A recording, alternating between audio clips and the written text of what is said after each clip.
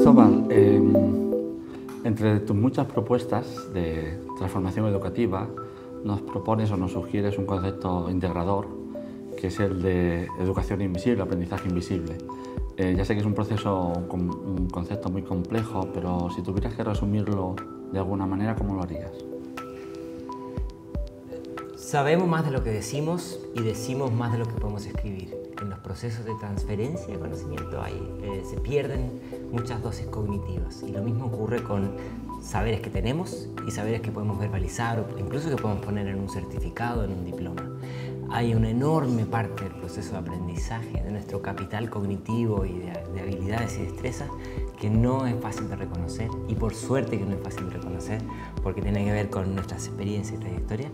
Y entonces ese aprendizaje es el que llamamos invisible, que es pensar en el, conocimiento tácito, en las habilidades blandas, otros aprendizajes desarrollados fuera de los contextos formales y creemos que es fundamental.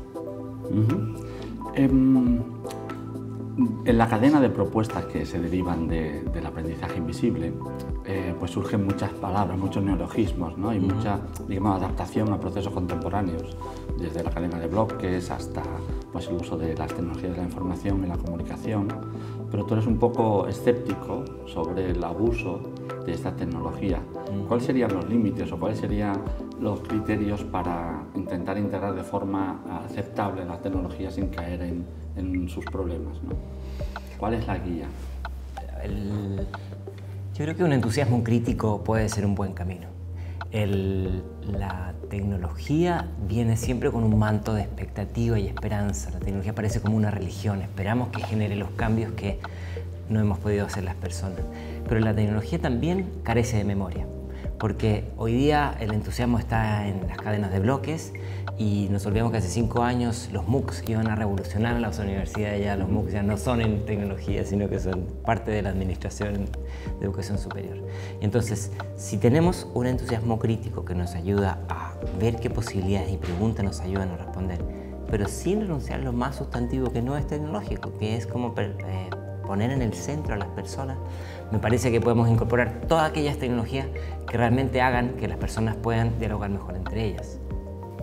Sí, al hilo de lo que tú dices, hay los más escépticos con las capacidades de transformación del aprendizaje, eh, critican la neofilia, ¿no? la, tendencia obsesiva a perseguir cualquier novedad que tiene solo como atributo positivo que es nuevo, eh, muchas veces renunciando a aspectos antiguos continúan siendo válidos. ¿no? Es el típico adagio de que no podemos eh, lanzar al niño con el agua del baño, ¿no? que hay que ser prudentes y hay que intentar mantener elementos estructurales del aprendizaje, de la educación, que, bueno, que son persistentes y que no podríamos renunciar a ellos en un culto a la novedad. Pero claro, es muy difícil dilucidar, ¿no? ¿Qué se mantiene de lo viejo? ¿Qué aportamos de lo nuevo? Y también, nuevamente, ¿cuál es el camino del medio para intentar solventar esta crisis? El justo medio aristotélico sigue siendo relevante, ¿no? Eh, yo creo que el tema está en que no olvidar este silogismo de no todo lo nuevo es bueno, ni todo lo bueno es necesariamente nuevo. Cuando uno tiene eso en el mapa, eh, puede tener una especie de análisis más claro de eh, para poder filtrar cada transformación. Déjame darte un ejemplo. En los 80 y 90, quienes tenían acceso a tecnología eran sujetos privilegiados. ¿no? Quienes podían portar estos teléfonos móviles grandes que parecían un ladrillo eran solamente los segmentos de élite de la sociedad. Hoy día eso se ha cambiado de manera radical y ya el teléfono no es un distintivo de prestigio social. Eh, y entonces, si lo pensamos desde la educación, pasa algo que tiene que ver con esto mismo. Es decir, en hace 15 años que las universidades dieran educación en línea era como una señal de vanguardia. Hoy no lo es. Hoy es casi lo contrario, es decir, aquellas instituciones que ofrecen educación a distancia ofrecen educación con énfasis en la masividad. Eh, y aquellos que tienen el privilegio de tener un docente al frente hablando en este diálogo, tienen la posibilidad de una coexperiencia y un diálogo con otro. Entonces, pareciera ser que lo que en algún momento era un privilegio, hoy día es parte del ecosistema. Y eh, yo creo que la tecnología, una de las bellezas que tiene es nos vuelve a poner sobre las viejas discusiones de qué es lo más importante en el proceso de aprendizaje. La experiencia de tutor, maestro, eh, la inteligencia artificial hoy día nos hace volver a preguntarnos qué significa ser persona. Entonces, quizás sea una mirada un poco romántica, pero tener una misión crítica sobre la, de la tecnología para poner a las personas al centro es fundamental. Lanier dice, yo no soy anti-máquina, pero soy pro-humano. Mira, en el año que viene, bueno, de hecho este septiembre, eh, entra a la universidad una generación, no sé si nueva, pero que se ha caracterizado como tal, la generación Z, que deja atrás los millennials, que sean los hermanos mayores de estos nuevos usuarios de la universidad. ¿Tienes la sensación de que tenemos que adaptarnos aún con más velocidad a una generación que es diferente o, crees que en el fondo esta, esta ruptura no será tal? Es una buena pregunta, no tengo la respuesta, pero creo que eh, si nos adaptamos nos vamos a adaptar mal porque tenemos resabio de una generación que trae otras cargas cognitivas y históricas, ¿no? y forzamos a las generaciones que vienen a aprender sobre nuestro pasado y no sobre su futuro, que es una de las grandes tensiones. Entonces, por supuesto que las instituciones educativas han de hacer un esfuerzo para abrir ventanas y generar diálogos flexibilizadores, pero estas generaciones también están buscando otros canales y otros circuitos para validar y desarrollar sus propios saberes. Y esa dualidad es parte del escenario en que vivimos y me parece saludable. Bueno, hablabas de validación y yo creo que ese es un, un elemento recurrente en tu obra, ¿no? Las universidades eh, ya no son el único eh, espacio, como dice Jenny Roca, ¿no? es el único espacio eh, donde se produce la información, ni siquiera es el único espacio donde se difunde la información. Ahora hay espacios alternativos donde eso es posible. Y parece que la universidad se ha quedado con el monopolio simplemente de la validación, de la expedición de títulos, según los cuales aparentemente tú demuestras un conocimiento pero tú eres un poco crítico ¿no? con este aspecto y crees que si la universidad sigue este paso probablemente no tiene futuro. Yo creo que la validación, el monopolio de la validación también lo está perdiendo. Yo creo que hoy día eh, muchas personas que buscan talentos no están buscando un título, están buscando la persona que está detrás o lo que has hecho con ese saber que tienes, sino qué calificaciones conseguiste en la universidad. No aplican todos sin duda, pero hoy día ese monopolio se ha ido fragmentando, se ha ido diversificando. Eh, cadenas de bloques, medallas y otros instrumentos generan maneras distintas, currencies, knowledge currencies, como lo llaman en inglés, de reconocer el conocimiento. Eh, y, entonces la pregunta está en cómo la universidad puede jugar en estas nuevas reglas, ¿no? cómo puede hablar varios lenguajes a la vez. Y, yo creo que esa es una de las preguntas que hoy día está más más eh, en, el, en, el, en, el, ojo del huracán, vamos a decir. Algunos lo llaman la desagregar el saber en distintas dosis de saber, en, no en grandes bloques, sino que en bloques específicos. Y yo creo que tiene más que ver con la manera en que nosotros aprendemos, que es una manera mucho más orgánica, mucho más en el día a día, mucho más basada en un contexto, en un interés específico. Sí, y volviendo a esta generación Z que irrumpirá en la universidad dentro de unos meses, en, el septiembre de 2018, una expectativa de vida de 100 años y un contexto claramente cambiante. Es decir, probablemente cuando ellos salgan de la universidad se enfrentarán a una realidad que no es estrictamente la misma que ven cuando, cuando se inician. Y esto recupera el viejo proyecto de la formación a lo largo de la vida. Yo no sé hasta qué punto las universidades están preparadas para, para este reto y, y cuáles serían los instrumentos que esto lo harían posible. Bueno, yo creo que siempre las universidades se enfrentan con una generación que viene con una estructura distinta, ¿no? O sea, cómo, se, cómo, la universidad iba a prepararse para recibir la primera generación de Internet o cómo la universidad iba a prepararse para recibir las primeras generaciones donde las mujeres tenían un protagonismo que no habían tenido en la sociedad.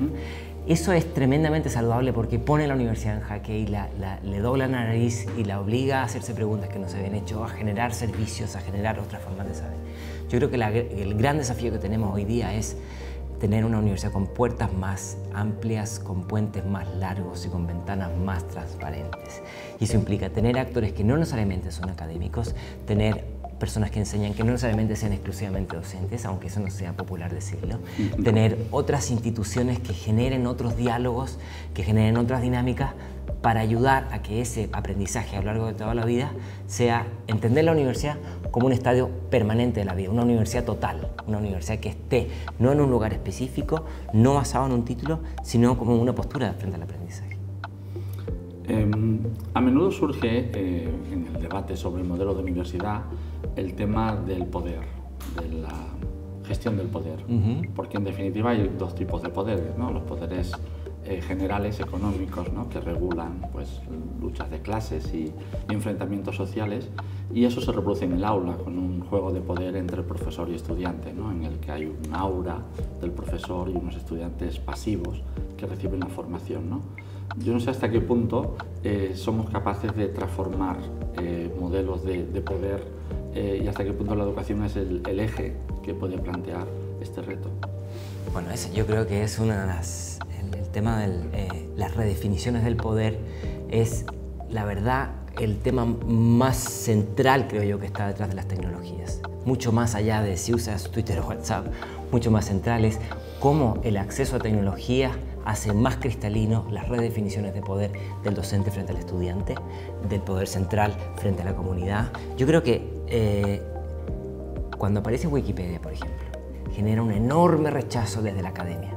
¿Por qué alguien va a escribir un artículo en, una enciclopedia si no tiene grados académicos, si no tiene un PhD, si no ha dado un premio Nobel, no le han dado un premio Nobel, qué sé yo? Y, entonces empieza Wikipedia y se empieza a, ver que tiene muchos errores, como tienen otras enciclopedias tradicionales, pero que se puede corregir muy rápido. Yo hoy día me parece que hay una menos, la, la comunidad académica se escandaliza menos con Wikipedia porque se entendió que es un lenguaje paralelo entre paréntesis, sabemos que la enciclopedia británica ya no se imprime, por algo será. Pero esto no es Wikipedia versus enciclopedia británica, es los dos canales. Y la universidad tiene que ser capaz de hablar esos dos lenguajes. Y eso es bien complejo, porque nosotros tendemos a repetir aquello que aprendimos. ¿no? Y entonces este bilingüismo eh, me parece que es uno de los grandes desafíos cognitivos que tenemos. tú llevas mucho tiempo en esto, tienes una larga trayectoria, por lo tanto tienes una cosa que a muchos nos falla, que es visión eh, periférica, visión de una trayectoria. Y, recuerdo, bueno, haciendo un poco de, análisis del pasado, que hubo una época en que pensamos que la tecnología podía cambiarlo todo. Tú eras uno y eres uno de los adalides del Creative Commons, del Open Access, la idea de que la tecnología puede eh, cambiarlo todo. Era una utopía digital, ¿no? en el que hablamos de inteligencia colaborativa, de democracia deliberativa, de un cierto cyberpunk. ¿no? Em, y la realidad no ha sido exactamente así, ¿no? ¿Qué, errores crees que podemos haber aprendido de, esa mm, falsa utopía, ¿no? que en algunos puntos incluso ha tomado forma de distopía, que nos puede ser útil para reconstruir esta utopía en una nueva? Eh, es súper importante lo que planteas. Yo, yo diría que la luna de miel se acabó. Es decir, nos dimos cuenta que las tecnologías son aceleradoras de buenas y de no tan buenas cosas. ¿no? O sea, si pensamos en el, origen de Internet, Internet se crea como una tecnología para sobrevivir a un ataque nuclear, ¿no? el ARPANET. Y al mismo tiempo se utiliza como un, se convirtió de un canal para darle espacio a los que no tenían voz, voz a los sin voces. Entonces, ¿cómo una misma tecnología puede tener esas dos dimensiones? Y en los orígenes de Internet, todos estos movimientos inspirados en el software libre quisieron convertir y tener un espacio de diálogo. ¿no? Cuando surge George Siemens con su visión pedagógica del conectivismo, dice vamos a conectarnos personas, saberes y visiones para hacer de esto algo mucho más rico. Y era muy relevante y sigue siéndolo, pero también es tremendamente ingenuo porque la conexión es solamente una transacción que puede ser llevarnos a algo bueno o algo malo. La tecnología en estos últimos años nos hemos dado cuenta que puede llegar a ser tremendamente perniciosa, aceleradora de inequidades, generadora de exclusiones. Y entonces tenemos que hoy día tener una visión mucho más madura frente a la tecnología. Esto se podría resumir en desarrollar una suerte como de ciudadanía digital, de entender las limitaciones, de entender que puede ser una plataforma de abusos, de tener una visión crítica. Y una ciudadanía digital no se resuelve ni con un curso ni con un MOOC, sino que se resuelve generando diálogos entre distintas miradas sobre la tecnología, asegurando que las personas tengan herramientas para poder protegerse frente a abusos de privacidad, de, otros tipos de... Y el Estado también tiene que tener una, una actitud mucho más proactiva que la que tenemos. Tenemos estados, lo digo en términos generales, no en particular, eh, tremendamente analfabetos sobre estos desafíos y hay que generar nuevas capacidades para proteger a la ciudadanía. Alguien dijo que la universidad del futuro es todo lo que va a pasar fuera de las universidades. Yo no sé si eh, aceptarías esta, esta afirmación y, en cierta manera cómo las universidades tendríamos que adaptarnos a, a este principio. Yo creo que la educación del futuro ya existe, pero está mal distribuida. Y todos nosotros hemos tenido algunos profesores del futuro. ¿no? Estos tipos que te provocan, que te generan conflictos cognitivos, que te sigues acordando de ellos años y años después, porque te hizo preguntas incómodas o te llevó a rincones del conocimiento que no teníamos. Bajo esa lógica, la Universidad del Futuro ya está eh, y lo que tenemos que hacer, creo yo, es buscar mecanismos para que esa universidad centrada en la enciclopedia, la transferencia de conocimiento, el conocimiento monodisciplinar, pueda dialogar más con la otra. Yo creo que el interés está, eh, pero claro, traemos un montón de inercias que cuesta mucho eh, transformar y que claramente no a resolver solamente con más tecnología. Y siguiendo también en esta visión futurista, muchos analistas auguran que el futuro de la universidad y de la enseñanza en general se halla en la inteligencia artificial, en, sistemas inteligentes de aprendizaje, donde el docente casi sea un, community manager de una información que ya existe y que la pueda distribuir según el perfil del usuario. Yo no sé hasta qué punto tú valoras que la inteligencia artificial es uno de los mecanismos de transformación de la enseñanza del futuro.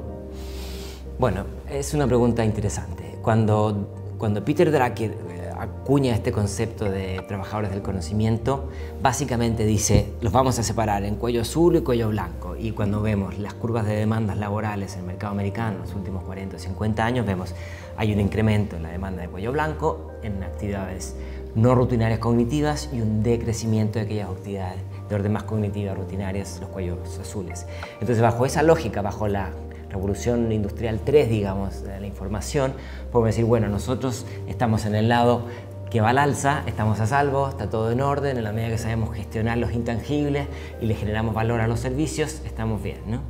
Eh, el problema es que la inteligencia artificial patea el tablero de nuevo y entonces dice, tú que eres trabajador de cuello blanco, un chico muy, muy inteligente que es un cirujano, un piloto de avión o un abogado, también tus actividades pueden ser no todas, pero muchas de ellas pueden ser automatizadas. Y entonces esto genera ansiedad, incertidumbre, como cualquier cambio, como cualquier revolución. Eh, yo lo que creo que la pregunta que tenemos que hacer es, las profesiones son un conjunto de tareas y la pregunta que nos tenemos que hacer es, cuáles de esas tareas son tercerizables y cuáles de esas tareas nosotros añadimos valor que no está limitado al dominio de algún saber disciplinar y tiene más que ver con la capacidad de adaptación, la capacidad de empatía, qué sé yo. Ahí hay una mina de oro en términos de los valores que puede ofrecer la universidad a los formadores, al, perdón, a los estudiantes, eh, en un contexto de mucha inteligencia artificial.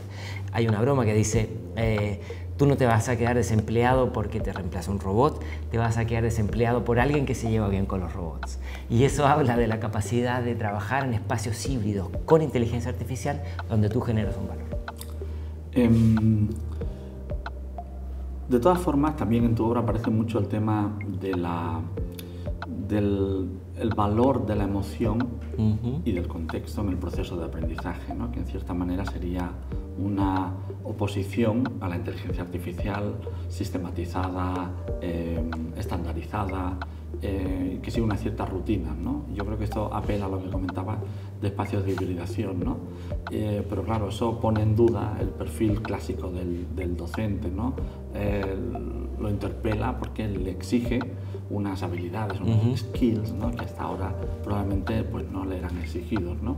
te imaginas un profesor del futuro ¿no? capaz de eh, gestionar también las emociones, de construir contextos de aprendizaje, mucho más que sea un reproductor sistemático de información. Sin duda, yo creo que le podemos pedir al profe un poco más que sea gestor de contenido, le podemos pedir una vuelta más. Imaginémonos un, concepto, un triángulo que se plantea en el libro No son pendientes, de tres conceptos, contenido, contenedor y contexto. Hoy día tenemos contenidos por doquier, infinitos, y muchos de muchísima calidad que hace 5 o 10 años había que pagar mucho dinero para tener. Tenemos contenedores también que bajan de precio y que se hacen cada vez más ubicuos, todos los dispositivos. Tanto contenidos como contenedores se pueden y están tendiendo a masificarse, a generarse, a convertirse casi en un commodity. Pero los contextos no. Los contextos no se multiplican con la misma velocidad. No se pueden eh, masificar contextos idóneos o espacios de aprendizaje basados en la confianza, en la relación uno a uno, en el docente que acompaña, que genera conflictos cognitivos. Ahí el docente juega un papel fundamental. Podemos tener mucha tecnología, muchos contenidos de valor, pero el valor del componente humano, de acompañar en el, espacio de duda, de dar retroalimentación, de hacer una broma, de jugar con el humor, de generar recuerdos, de generar alianzas y vínculos, es central. Entonces, de la misma manera en que en los 90 se, temía que el e-learning iba a reemplazar a los docentes y pasó justo lo contrario, yo creo que hoy día ese debate se repite con la inteligencia artificial. Fíjate que todo el rato estamos diciendo que necesitamos, no sé si docentes diferentes, pero sí necesitamos eh, afrontar retos docentes de primera magnitud que requieren formación, que requieren eh, ensayo-error, que requieren eh, comunidad, que requieren intercambio. Pero por otro lado, tengo la sensación que la universidad se está centrando en su, en su sistema de entrada de nuevos docentes en un modelo que no tiene nada que ver con la docencia, sino que tiene que ver mucho con la investigación y especialmente un modelo de investigación bastante opaco en revistas indexadas que son muy caras de acceder y por lo tanto que requieren casi un conocimiento eh, pues muy cerrado, ¿no? muy, muy poco accesible. No, no, hay aquí una cierta contradicción entre el sistema de entrada que tiene el sistema universitario y por otro lado el reto que plantea sobre la innovación docente. ¿no? Eh, ¿Hasta qué punto estamos pidiendo a la universidad eh, profesionales adaptados a los retos que estás planteando? Bueno, Sebastian Turn dice que las universidades se ranquean en base a sus capacidades de exclusión. La Universidad de Harvard tiene 5%, como decíamos hace un momento, de alumnos que postulan. Eh, ¿Y qué pasa si lo cambiamos de sus modelos de exclusión a sus modelos de inclusión? Cambia el mundo, dice. Yo creo que el desafío que tenemos es repensar las maneras de producción de conocimiento. Los, los circuitos que tenemos de producción científica, de reconocimiento de los docentes, de, la capacidad de producir saber a la sociedad, eh, hay que reinventarlos. Están absolutamente obsoletos. Sabemos que las formas de publicación de ciencia en, en journals indexados es muy importante, pero no puede ser la única manera de reconocer las universidades y los académicos. El modelo está obsoleto y lamentablemente nos hemos demorado mucho más en generar las acciones que en hacer el diagnóstico. ¿Cuántas generaciones vamos a tener que certificar en el proceso intermedio?